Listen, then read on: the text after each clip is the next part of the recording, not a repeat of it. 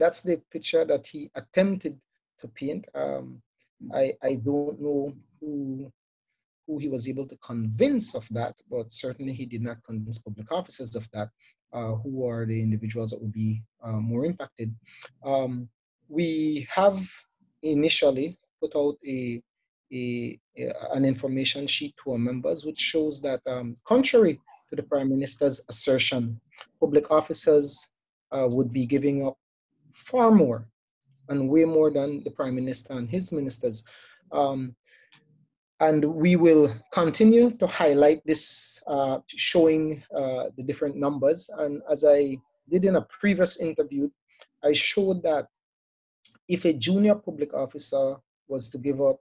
his $900 increment that the PM spoke about, uh, in 10 years time, when that junior public officer, if, if we're talking about someone who's 45 years old, and, and, and below a pay scale of, of 10. Um, uh, if you look at an increment of $900 per annum, um, that individual would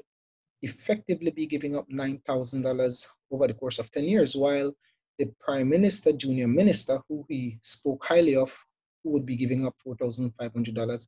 um, would merely be giving up about $5,000 $5,100 if we look at that over a 10 year period. So the $900 that the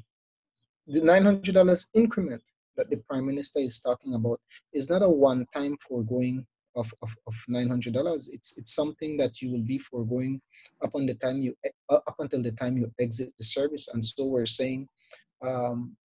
based on the time value of money there is no way that we will agree to give up far more than what the prime minister his ministers HODs and CEOs are prepared to give up.